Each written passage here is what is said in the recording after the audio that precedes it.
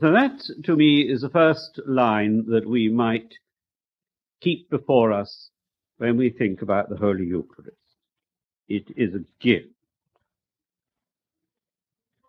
And then, secondly, let us reflect on the words spoken by the deacon or the priest just before the people come up for communion.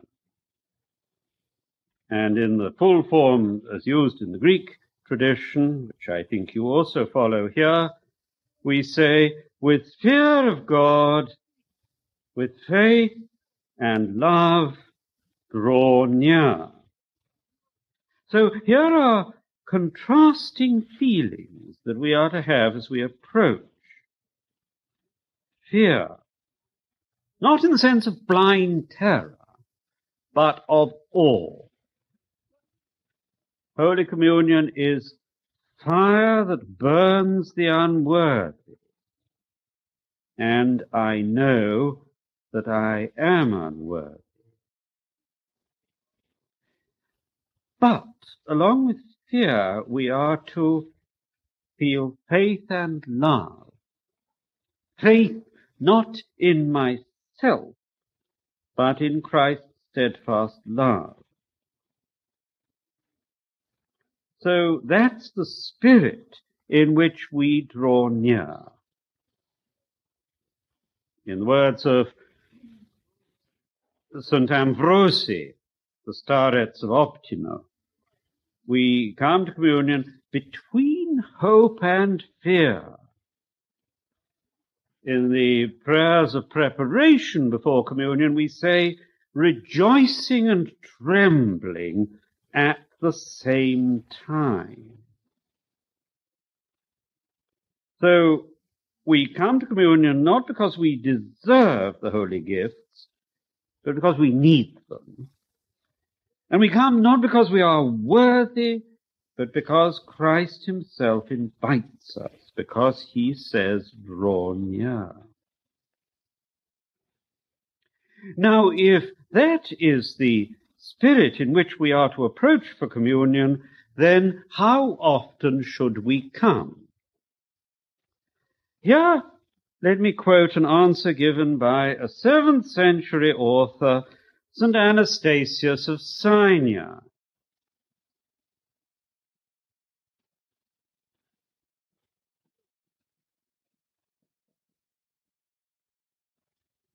When, when asked how often can we come for communion, he says, there are some people who may come for communion every day. Others, he says, may come once a week others once a month,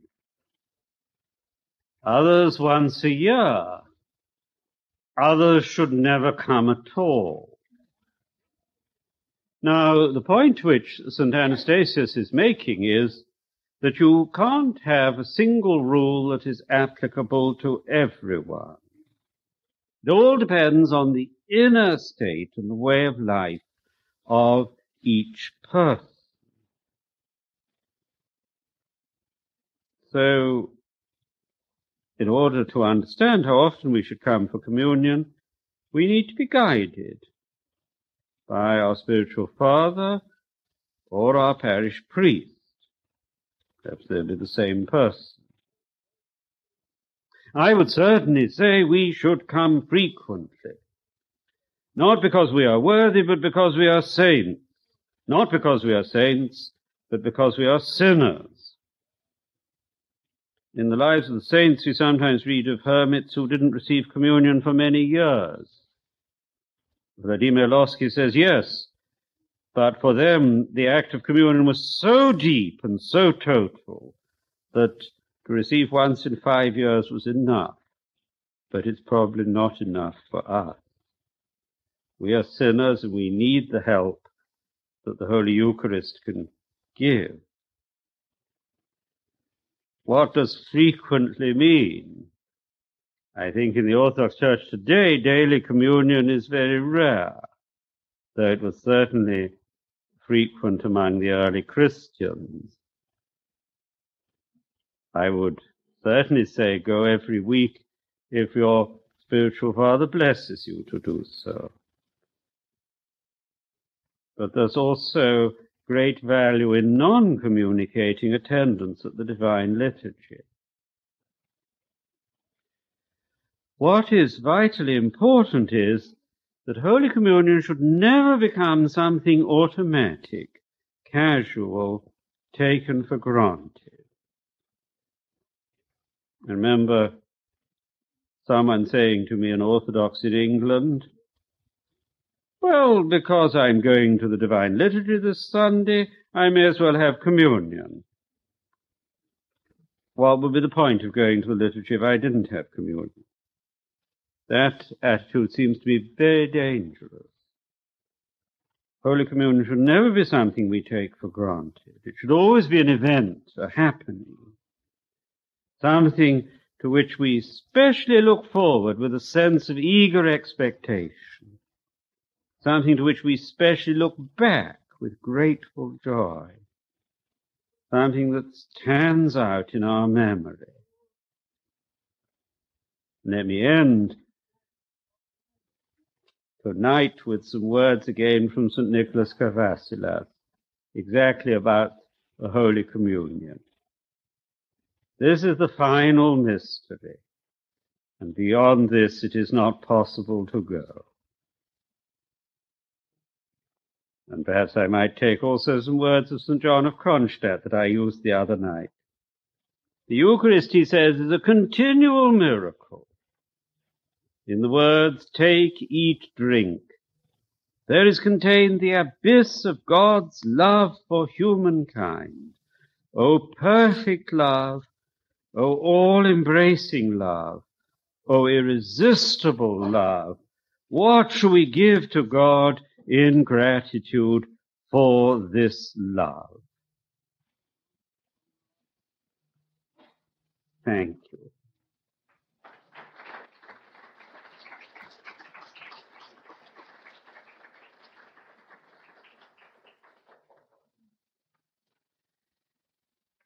Do we have a little time for questions, or would you like to end now? Well, if there are any questions or comments, Yes. Prayers right before we go up for the gifts. Um, something about our promising not to tell of the mysteries to the enemies of God. Mm-hmm. And I'm wondering if you could tell us about that. I, I really have, I don't know if I know any enemies. And, uh, I, I don't know quite what to do about that. Yes, the question is, uh, with reference to the prayer said immediately before communion, at thy mystical supper, Son of God, today receive me as a communicant, for I will not speak of the mystery or the secret to thine enemies. Um, who do we mean here by the enemies? Um, Now, I take that to be a reference that we will not speak of the mystery to the enemies of Christ, not my personal enemies, but the enemies of Christ. And what does it mean not uh, speaking of the mystery or the secret to Christ's enemies?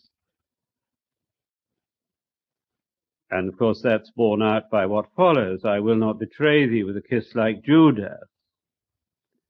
Um, what I think this means is that we are to hold the Holy Eucharist, the communion, in very profound reverence, and living as we do in a largely secular and unbelieving world, we are not to lose our sense of wonder and awe before the Holy Eucharist. Betraying the secret to the enemies of Christ would mean that we lost our sense of the holiness of communion. And in that sense, we're betraying Christ to his enemies who are the unbelievers. That's the way I it. But I wonder if anyone else would like to say how they understand it. It is an urging us that we should treat the Holy Communion with reverence and not cheapen it, not lose sight of its holiness. Does that make sense? But how would others have a different explanation? Yes. That's not falling back into sin ourselves. Not falling back into sin ourselves. Yes, that that's uh, um, uh, uh, also, I think, a helpful line of thought. Yes, that we would, that we should not fall back into sin ourselves. That if we receive communion and then we go out and live as if we had not received it, we would exactly be betraying Christ secret to his enemies. We would be giving him a kiss like Judas because our faith would not have been fulfilled in our actions and lived out. Uh, and that would be a sense of betrayal. I think that is another possible way of taking it. Well, it fits with the first way. Yes. Many of the words of the liturgy come directly from Scripture. Are these words from Scripture? I will not betray thee with a kiss like Judas. No, I will not speak of thy secret or mystery to the enemies. I don't think that is from Scripture. No, I can't recall any passage like that. Um, though, of course, you're absolutely right that the text of the liturgy is full of scriptural phrases. But at that point, I think this there isn't an exact parallel. Um, yes, the two. Uh, reference or speak on the term baptism of the Spirit, particularly those who speak of the charismata or the charismatic movement, which is also within Orthodoxy? Yes. Uh, the question is, uh, how should we understand uh, baptism in the Spirit, or baptism with fire in the Spirit? Um, there is quite a rich patristic teaching on this. Um, a book I would recommend by a Roman Catholic writer. The author is Father Kilian McDonnell. I can't for the moment remember the title of the book.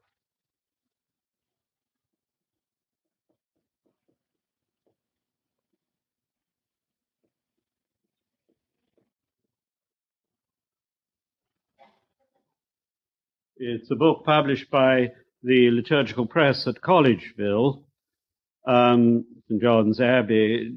Does anyone know that book? Ah, well. Um, there, there is a lot of discussion of the patristic evidence. Um, certainly, a number of the fathers do use the phrase baptism with fire or baptism with fire and the Spirit.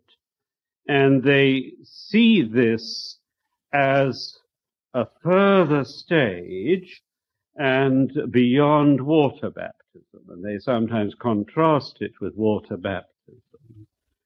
Um, and of course, these passages have been taken up and much discussed by members of the charismatic movement who are working in the field of patristics.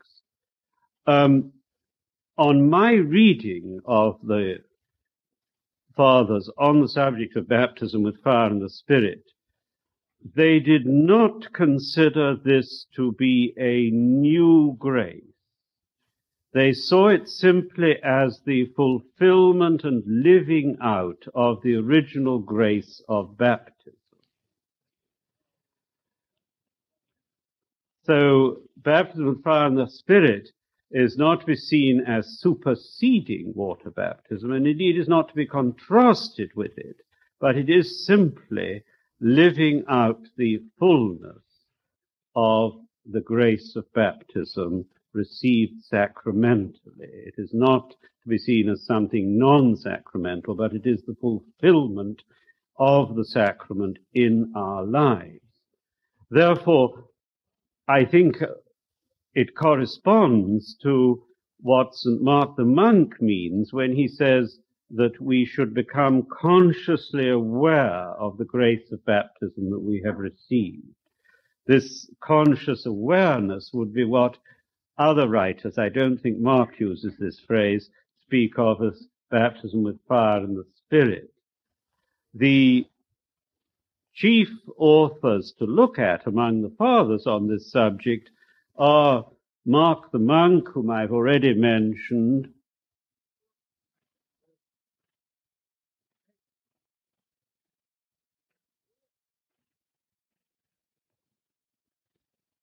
then the homilies of Macarius, and those are texts from the late fourth or early fifth century. Uh, Mark has not been fully translated into English as yet. The homilies of Macarius, the main collection is available in English. Has been translated more than once. And then the third author of particular importance on this whole theme is Simeon the New Theologian, who is 11th century, and a good bit of him has been translated. Mark is available in a full translation in French, uh, and so is Simeon in a full translation in French.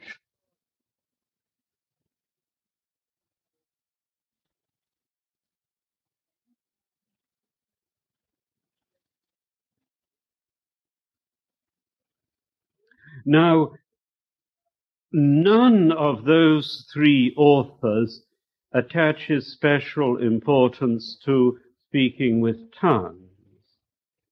There are brief references to that in Macarius, though they're rather ambiguous. There are some passages in Simeon which may allude to speaking with tongues, but it's not altogether clear. But it's evident that the fathers did not consider that speaking with tongues was a decisive criterion for baptism of the Holy Spirit. And I think that they envisage, when they speak of conscious awareness, something far deeper and more inward. The fruit of the Spirit is love, joy, and peace. And that's perhaps the way the gifts of the Spirit are shown within us in a total transformation of our inner life. And I don't think that um, either these three or other fathers who talk about baptism with the Holy Spirit saw it as a single event. They saw it, I think, simply as a continuing and ever growing fulfillment of the total Christian life. So they weren't, as far as I can judge, thinking primarily of a single conversion experience. So the view, I think, of the, the fathers would certainly be we become Christians through baptism in water, and if we go deeper in our Christian life, what we shall discover is the full meaning of our sacramental baptism. But this discovery of the fuller meaning is simply the living out of what we were given originally through the sacrament. And they would not have wished to single out any particular external phenomenon, such as speaking with tongues, as being a decisive test. They are much more interested in the total and gradual transformation of our life as we follow the Christian way. Does that meet some of your points? Yes. Mm. Yes, please. You had uh, quoted a statement saying uh, the goal of this life is to have an active awareness of the Holy Spirit in our life. Yes. And I remember reading something uh, similar saying uh, the acquisition of the Holy Spirit is the purpose of the Christian life there seems to be a little bit of contradiction there in that if we receive the Holy Spirit at chrismation, that it would be there, and your statement of, of having more of an active awareness seems more appropriate. Is there just, is acquisition just maybe not an accurate terminology, or am I missing? The phrase about the acquisition of the Holy Spirit uh, comes, if I remember rightly, from St. Seraphim of Sarov, from his conversation with Nicholas Motovilov, where St. Seraphim, in a famous statement, defines the aim of the Christian life as being the acquisition of the Holy Spirit of God. But I don't think he meant that we do not at this moment have the Holy Spirit at all. I think by acquisition he meant the fuller awareness of the Spirit of God. Um, St. Seraphim would certainly have accepted the teaching of the church that we receive the Holy Spirit through baptism and chrismation, which under normal circumstances form a single mystery. And so he would not have denied that we are given the Holy Spirit at our baptism and chrismation. So when he speaks of acquisition, I think he means the fuller awareness of that which we have received, um, though that is not the literal sense of his phrase. I would take that to be the meaning. Um, we might recall the words of the prayer Heavenly King. Heavenly King, Paraclete, Spirit of Truth, everywhere present and filling all things. And then we say to the Spirit, come and abide in us. Now, does that mean that at this moment the Spirit is not within us? I don't think that is a correct way of understanding that prayer. We say, come to the Holy Spirit, but He is already within our heart through baptism, through chrismation. So in saying come, we are asking for a fuller awareness and realization of this gift that is already within us. I don't think any of us would wish to understand that prayer as meaning that we were without the Spirit totally, even though we are baptized and chrismated. Surely that cannot be the meaning. And we have already said that He's everywhere present and filling all things. So there's a certain paradox in then saying, come, as if He wasn't already there. So I think we are saying come, meaning come in a greater fullness with greater power.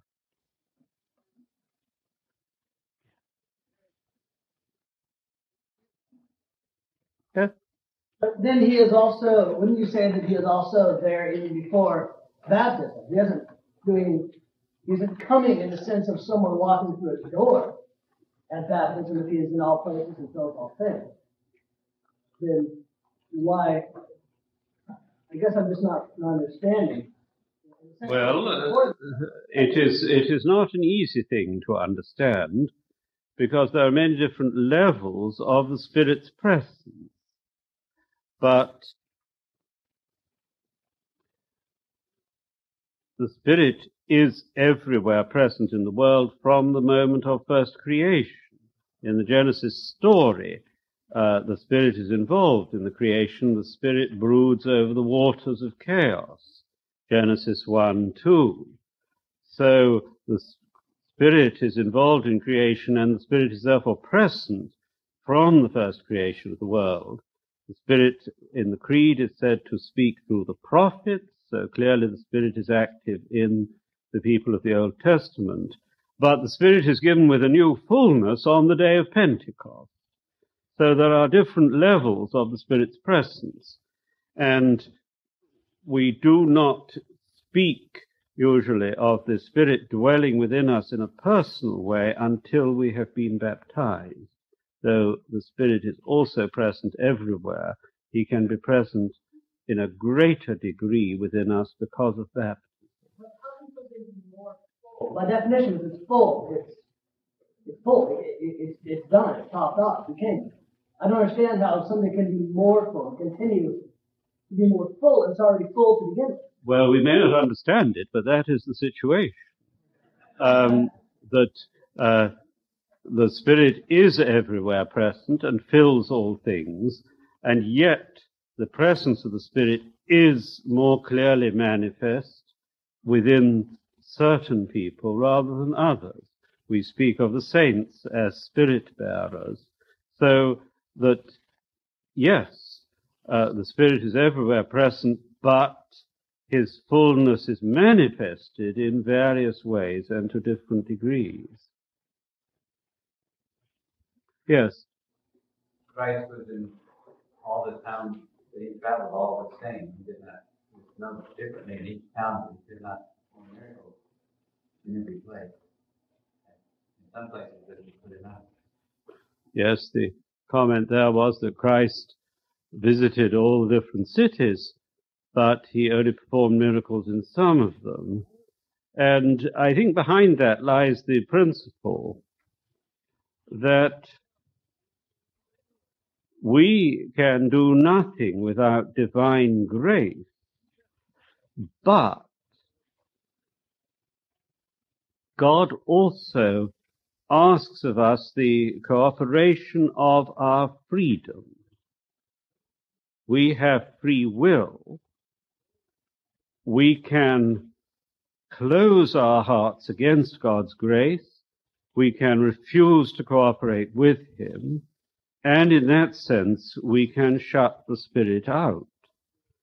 Or we can open our hearts to God's grace. And we can let the Spirit work within us. But God does not use force and violence. We cannot be saved without Him, but He will not save us against our will. He waits for our free cooperation. And this is why the action of Christ, as you say, the action of the Holy Spirit, is more apparent in some persons than it is in others. As it says in the letter to Diognetus, a text of the first or second century, God persuades, he does not compel, for violence is foreign to him.